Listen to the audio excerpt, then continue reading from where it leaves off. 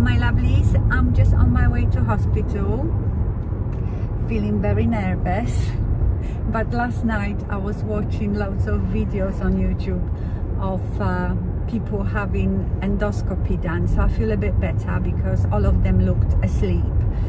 Um, and also I watched lots of videos of people coming out of the anesthesia and it was so funny. I didn't realize that well I don't know if everybody does that but these people were talking so much rubbish it looked really drunk. I wish someone could video me. Yes so Paul is driving me there and then he will pick me up. I think I'm, I am going to be in there altogether three hours so um, depending how I feel afterwards I might pop back in and let you know how it went. We are just driving through uh, Windsor Great Park. Let me just show you how beautiful and green it is.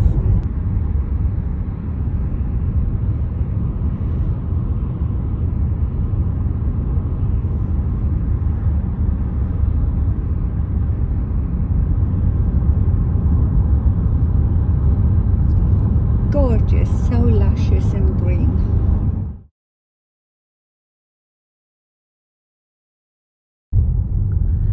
hello i'm out i think i have a pattern on my face because i had that oxygen thing up my nose so everything went okay um, I they found two polyps in my colon so I had those removed. I, I feel a bit dopey still. So Paul is taking me home now.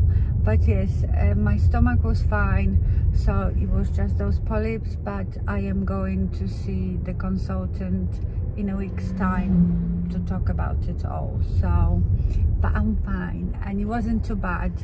Um, the endoscopy I am sure I can slightly remember gagging but just it's just like a dream. I don't remember the actual discomfort. And then for the colonoscopy you a bit more awake. They they lift you already up from the sedation. So I could feel that a bit and it's slightly uncomfortable but it was fine. Right my lovelies I see you tomorrow when we're traveling hello my lovelies so we've just arrived in Cotswolds but we've arrived a bit early and the cleaners were late so our place is not ready. So we've just been to a local pub had a drink and now we're just taking Louis for a walk.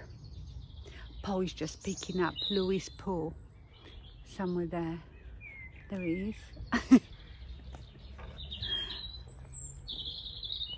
so we are going to go for a walk and we probably come back to this pub for something to eat later on.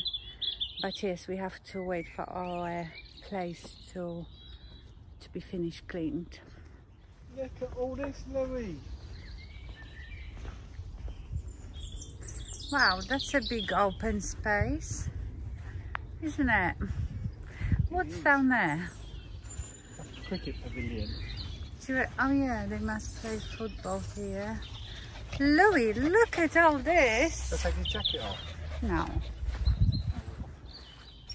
Is it good? Yeah! Gonna do outfit of the day. So this is um, traveling outfit of the day. Gap sweatshirt, Sweaty Betty vest, Sweaty Betty leggings and trainers. What's your outfit of the day? I am in a beige pull and bear with a white boss t-shirt uh, complemented by a green poo bag and uh, what do you call it? A man bag. Pack. Man bag. Man bag fanny pack. So this is our barn. You walk in here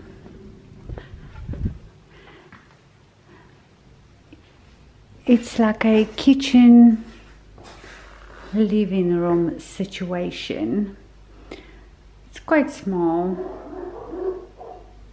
but just enough for two people. And then you have two bedrooms. There is one here with ensuite bathroom there and there is another bedroom this side. With an ensuite bathroom. Oh boys. Oh my goodness. So look these are the owner's dogs. Oh my god look at that great dane it's enormous. So this is our little garden but uh, the owner actually lives next door. These are his dogs let's go and see him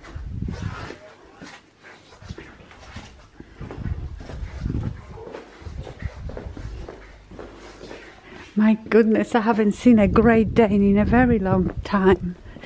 He's huge. Louis, did you see doggies? They're big, big doggies. Big doggies. Look at you. You can suddenly bark. Wow. You are huge. This is really pretty. Love that sculpture. Look at it.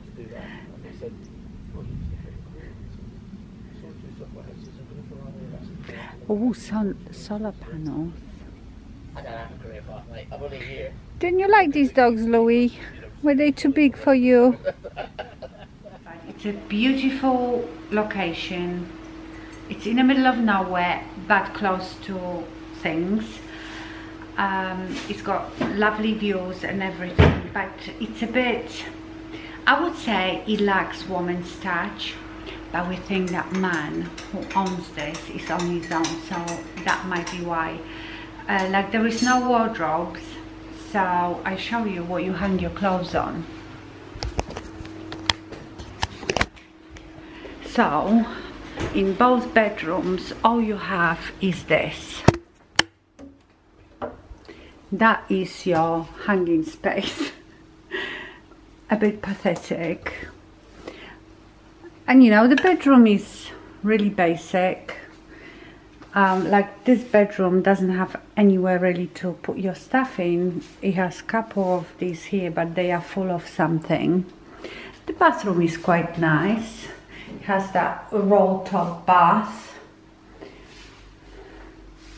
Cute triangular sink. And the other bathroom has um, a shower. Let me take you to the other bathroom. The kitchen is quite cute.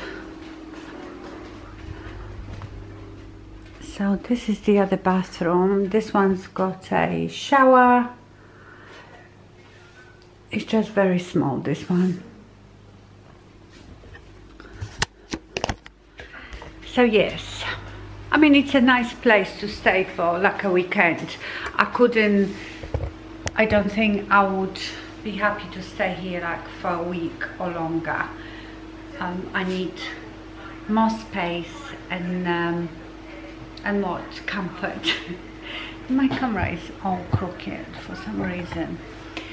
Yeah, but it's a nice, nice location, so that's all it matters.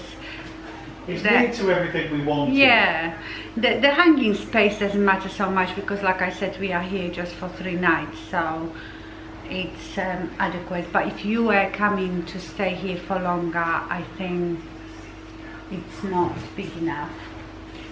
It's a cute, It's a converted cow shed. oh is it? The owner is just behind, he's, he's got a lovely place. I might ask him if he wants to swap. Anyway, we're just gonna have a cup of tea. We've booked that pub for dinner tonight, so we'll go for dinner. And then tomorrow, tomorrow we'll probably go to Cirencester. I really wanted to go to Cirencester, beautiful place, so I will show it to you tomorrow.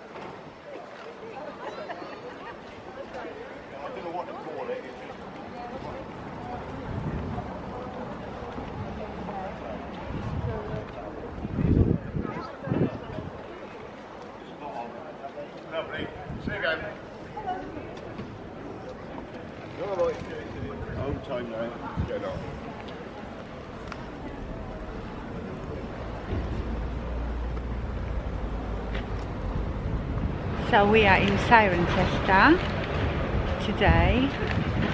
Only just got here, parked up and just trying to look around and see what's around.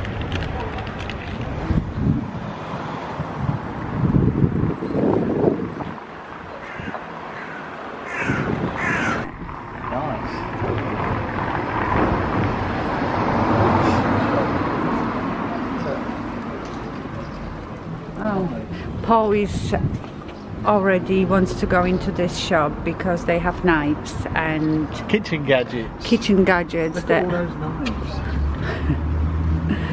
look at all these knives. Not the Paul Cooks.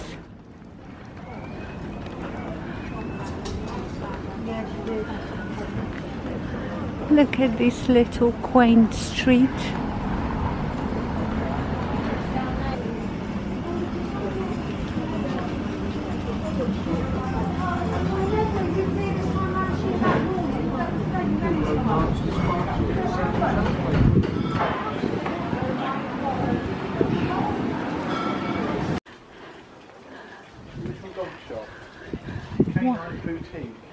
Wow, you can get lost in here. All these back streets.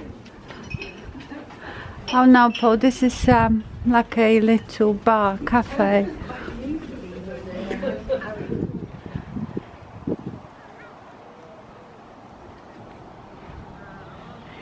We've just found this huge park in the middle of Cirencester behind that big church. I think there is a lake somewhere there, so we are going to take Louis.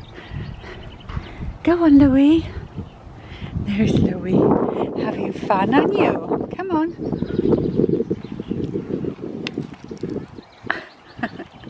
now this way.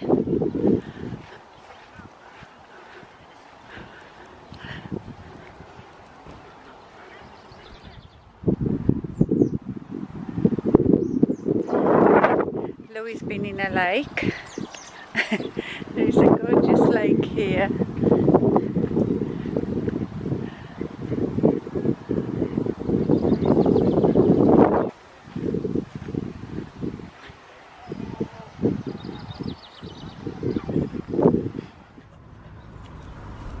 Louis got a new toy. Louis.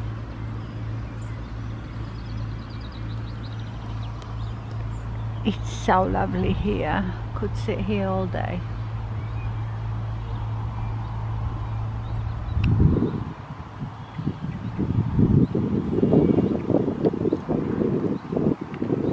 We're on our way back now. We've done some shopping and we've just stopped off at this gorgeous pub. It has a lovely river, well stream running down the bottom. I might take Louis there later. And we're just going to have some lunch and then go back to our place. There's Louis on his towel.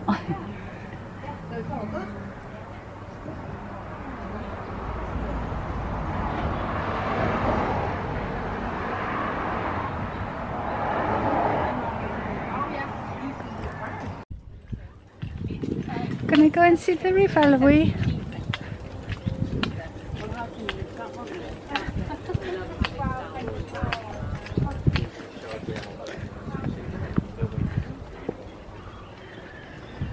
Look at this lovely stream.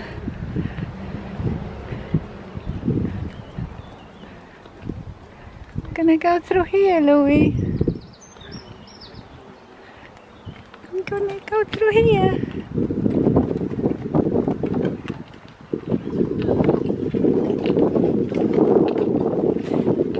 To the left there, you can get Here. Louis, come and have a look here. Look. Wanna go in the water? Louis. Down here. Go on.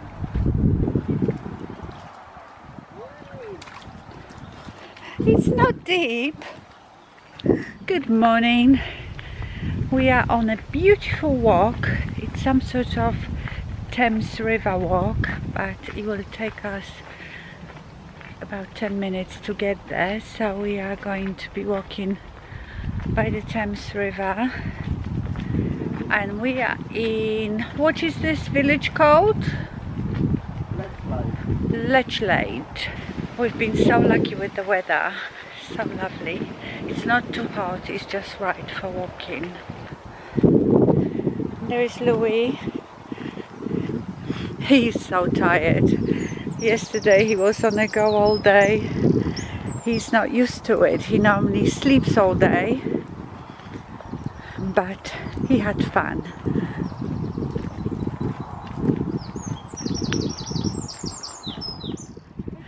Look at this majestic swan.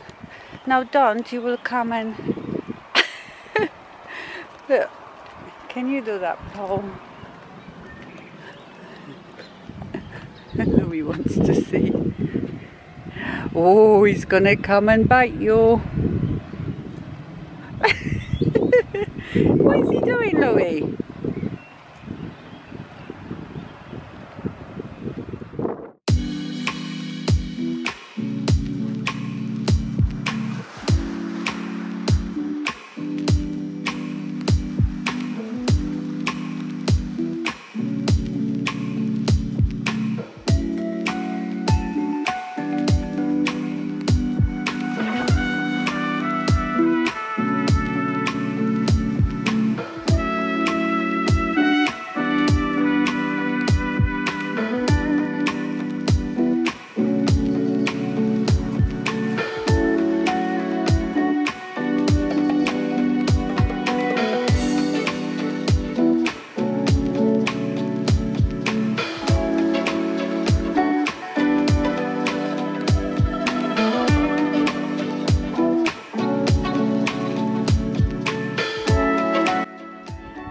Lovely pub the other side. So we are going to go over the bridge and go and sit down there for a drink.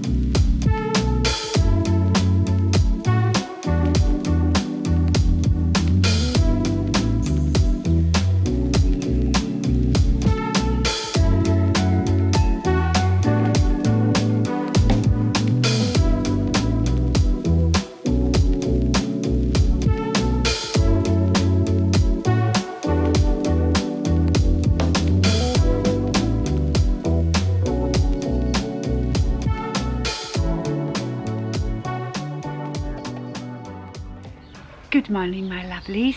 So we got back yesterday by 10 o'clock and I was a superwoman. As soon as we got in, I unpacked everything. I actually did all the laundry with everything that we brought and I've ironed it because the weather was so lovely, well it's still lovely today, that everything dried really quickly so I was able to iron it as well. I also redone my nails and toenails and I had a nice soak. I'm really pale because I soaked off all my fake tan which I will have to redo at some point. So I was a superwoman. I did it all yesterday. So today I'm just chilling. I am a bit upset because looks like two of my cucumbers have died. They just look all shriveled up. And the other one is quite nice and big but something is eating it. And I've watched some videos about growing cucumbers um, yesterday and it's such a palaver so this man said you have to feed it with Epsom salt fertilizer then other fertilizer then when you are watering them you need to water under underneath the leaves to get rid of spider mites and then you will get squash bugs on it which will lay eggs. You have to get rid of the eggs. I thought you know what? I'd be better off buying the cucumber but I'm going to try. Maybe that one will grow. So the two that have died are the ones that are supposed to be like small cucumbers. The one that is still doing okay it's a you know big slicing cucumber. Yeah these are a bit wet aren't they? Well it's like damp. Sorry Polly's here. Yes so I don't know. My lettuce is growing very slowly. I thought I would be eating it by now but no. But my potatoes are doing amazing um, let me also show you what Paul bought when um, yesterday when we were no yesterday the day before where we were driving around in Cotswolds on the side of the road. Um, there were these men that uh, sculpture things out of wood with like chainsaws isn't it? Um, and they did all sorts of different things and Paul loves stuff like that. So we bought three mushrooms Toadstools. Toadstools. I don't think they toadstools. Right, here they are. Are you gonna stain them a bit darker color? No, because here they've they've all been sanded and uh, uh, oiled and this has been oiled. But I might, yeah, I but might I suppose if top. you if you wanted to stain it for them to be a bit darker, you could. Well, not stain it, oil, oil it, uh, oil it. uh, the man said you can do it with decking oil, which we have. So there is Louis. Have you recovered yet? Have you recovered? It's been very tiring three days, hasn't it? Right, look at my potatoes. They are just growing like crazy. Uh, my tomatoes have grown a bit. But look at my cucumbers. Can you see these two there? They are dead. And this one has holes in one of the leaves, so something is eating it. Spider mite. Spider mites. Yeah, this man on a YouTube, on YouTube also said that you can spray underneath the leaves with peppermint. Uh, so he just puts like a drop of peppermint oil into water and just sprays the leaves. I don't know. My beans are doing okay. There is another potato. My lettuce doesn't look much bigger, but radishes are growing really fast and someone said that um, one of you in my comments well more than one of you that I shouldn't have planted the mint with rosemary because mint is like a weed and it will just take over. But I will just murder it then. I will pull half of it out. Oh yeah look at this. We used to have these. We bought very similar ones in Costco years ago and these are the type that you put on your back like a backpack. And it has pockets here and it can go flat as well. Uh, we like to take them on a beach. And Paul just found the Tommy Bahama one. Where did you get them? Costco. oh were they in Costco as well? Yeah they are so comfortable. Uh, so I might sit here for half an hour to make some vitamin D. Another thing I wanted to show you is this the Neutrogena Ultra Sheer Ultra Sheer Dry Touch Sunscreen 45 so the story is I have been looking for a sunscreen that doesn't stain your clothes. You know normally if you wear something white and you've put the sunscreen on it will stain your clothes yellow and you can't wash it off. Right let me go and change my battery because it's running out. Right battery changed. So yes I, I was looking for for something that doesn't stain your clothes. And while looking and researching I found out that apparently the ingredient in your sunscreen that causes the yellowing on, of your clothes is the oxybenzone. And this is oxybenzone free. So I've only been using it for a few days and I haven't really worn anything tight and white so I can't vouch for it yet but I will let you know. Well, it didn't stain my white t-shirts. oh yeah but I put it all on the back of my neck and you did yeah. Well, Paul says that he put this on the back of his neck and he said he didn't stain his white t-shirt, so but I will update you on that. Right, now, uh, so I am seeing the gastroenterologist on the 3rd of June uh, to talk about my results, you know, my colonoscopy and endoscopy. I was thinking, why couldn't he talk to me then? But then I thought, yes, I was so spaced out afterwards, I probably wouldn't remember. So that's why I have to see him. Um, but do you know what? Obviously, we know there is nothing funny going on in my in my stomach or in my colon. I had these two polyps removed.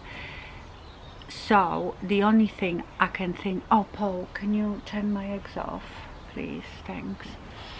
Um, and just leave them on on there. Just push it off and leave them on there in that hot water. And what was I saying? Oh, okay. So I think that what it is is the coil because when I think back so I've had it now for three years and the first year was okay but I would say for the last two years on and off I've been suffering with this bloating. So yesterday I just googled you know does the coil cause bloating? And I think uh, it took me to Mumsnet and there were so many women talking about it that they've been feeling bloated that they look like they are four months pregnant very sore boobies and all that like being constantly premenstrual. That's how I feel most of the time like the worst PMT and I've got sore boobs as well. So what I'm going to do is make an appointment with the um, hormone clinic and I might have that coil out because honestly all this HRT is supposed to make you feel better and this is making me miserable. Well the estrogen is making me feel great but obviously that coil is not the best. Okay I'm going to finish this vlog here. I hope you enjoyed this video. Thank you so much for watching. Have a wonderful week and stay fabulous. Bye